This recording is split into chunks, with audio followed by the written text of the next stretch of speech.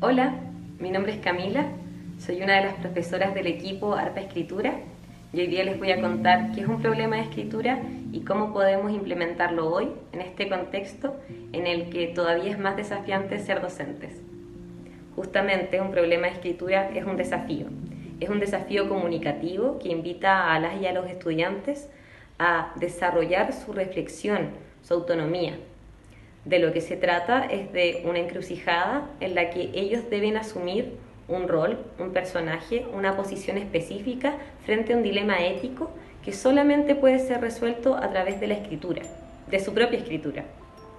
Evidentemente, esta iniciativa lo que busca es reforzar, modelar, ayudar a que las competencias discursivas de la y los estudiantes mejoren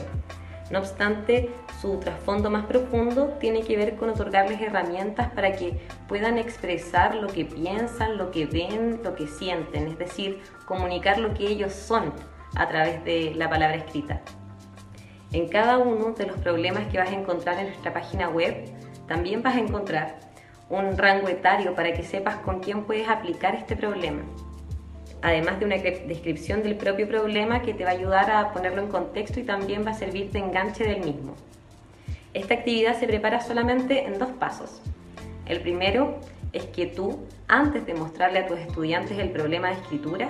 puedas resolverlo. Es muy importante que realices este primer paso porque si lo haces vas a tener a la mano las distintas estrategias que te van a ayudar a solucionar el problema y así cuando retroalimentes los escritos vas a tener muchas más posibilidades de colaborarles efectivamente a las jóvenes y a los jóvenes. El segundo paso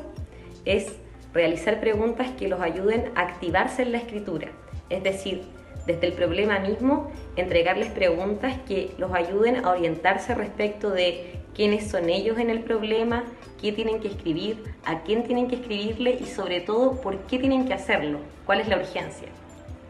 El segundo paso es muy importante a propósito de que los va a ayudar a identificarse con el personaje que les estamos pidiendo que asuman. Por lo tanto, estas preguntas deben orientarse desde las emociones y deben hacer eco del personaje, como les decía, que ellos tienen que tomar, apropiarse del mismo. Una vez que hiciste estos dos pasos, ya estás listo para desarrollar la actividad con tus estudiantes, dependiendo de cómo estén trabajando en tu liceo o en tu escuela. Y te pedimos que puedas tratar de recabar información respecto de cómo es que ellos llegaron a la solución.